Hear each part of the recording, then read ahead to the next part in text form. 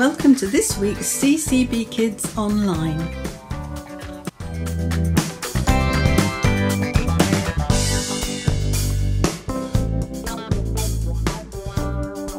Well, it's lovely to be back with you. Have you had a good Easter holiday?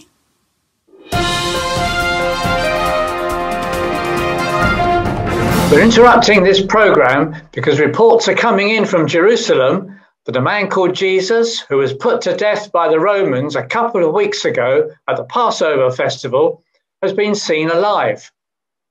We've asked the Roman authorities for their comment, but have had no reply.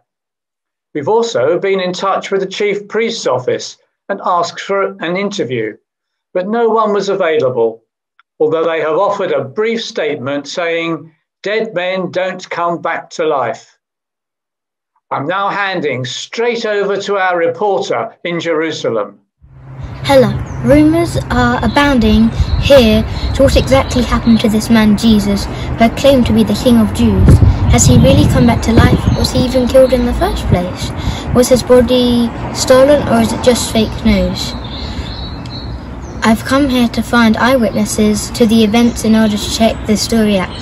I have here with me the Roman centurion who was in charge of the crucifixion. The big question on people's minds is was Jesus really dead when they took his body off to the cross? No doubt about it. I've been doing this job for years. I never get it wrong. I, I even made sure he was dead by piercing his side with my spear, and blood and water came out of the wound. A sure sign of death. You can check that on Google.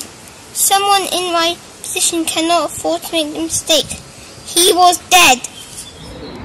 I have here as well one of his close friends called Mary, who claims to have seen him alive three days after his body was sealed in the tomb. Mary, could you tell us what happened on that morning? I went to the tomb with some of the other women, but when we got there, we couldn't believe it. The gigantic stone sealing the tube had been rolled away and his body wasn't there. The others ran back home, but I stayed there crying my eyes out. Where was the body? Who had removed it? That's when I heard someone else in the garden.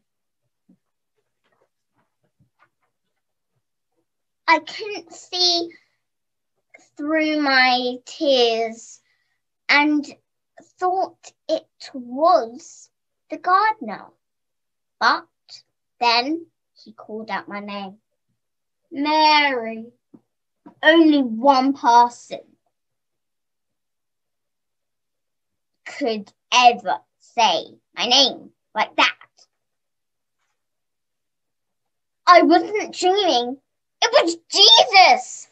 Alive!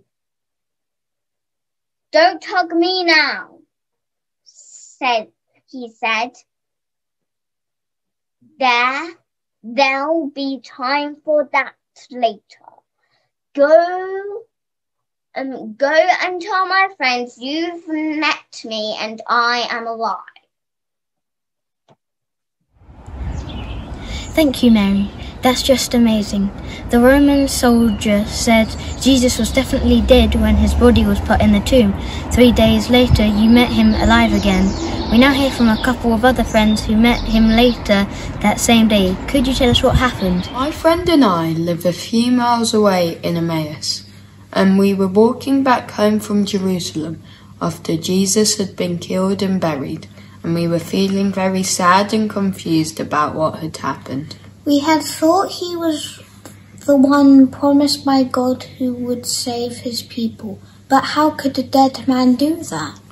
Well, as we were talking, a man caught up with us and started walking alongside us.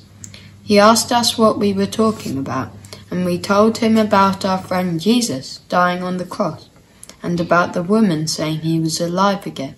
We thought that must be nonsense. The man told us we were being very slow at understanding what God had said in the Bible. We didn't mind him saying that because he went on to explain it all. He said that God's people had disobeyed him, so God planned a way for them to be his friends mm. again. The man reminded us how Abraham, Moses, and David had all known about God's plan, and how Isaiah the prophet talked about this special person coming from God. He would have to die and then come back to life again. We began to see that Jesus was this special person, and it was all part of God's plan. At last we reached our house. It was getting late, so we invited the man to stay with us. When we sat down to our supper, our visitor took the bread, thanked God for it, and broke it and gave it to us. Suddenly, we recognized him. It was Jesus. At that moment he disappeared, but it didn't matter. He, we knew that Jesus was alive. God's plan had worked. We forgot about our supper and went straight back to Jerusalem. We told the good news to Jesus' other friends and found out some of them had seen him too. That's all I have time for you now, so I'll hand you back to Graham in the studio. Thank you. This is amazing. Tune in next week when we hope to have found more people to bring us their accounts of what happened. We can now go back to Helen at CCB Kids Online to resume our scheduled programme.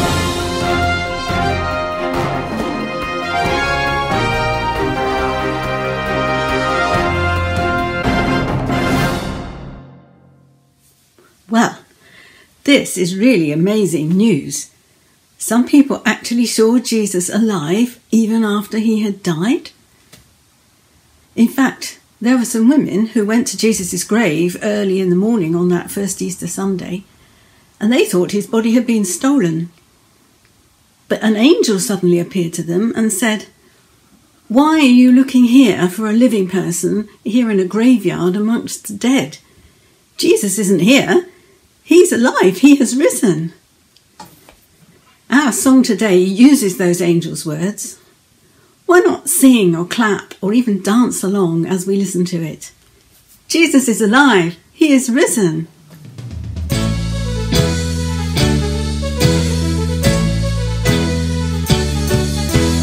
Why do you looking for the living? Why do you looking for the living among the dead? Jesus is not here. Jesus is not here. Jesus is alive.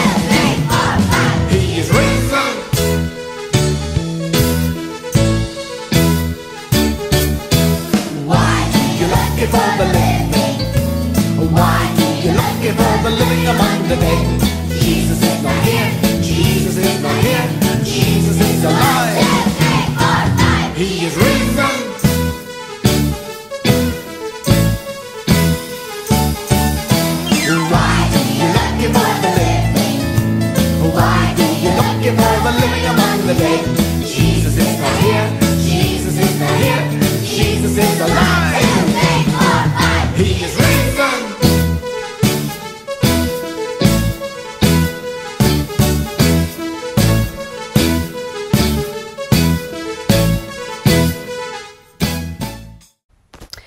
Let us pray.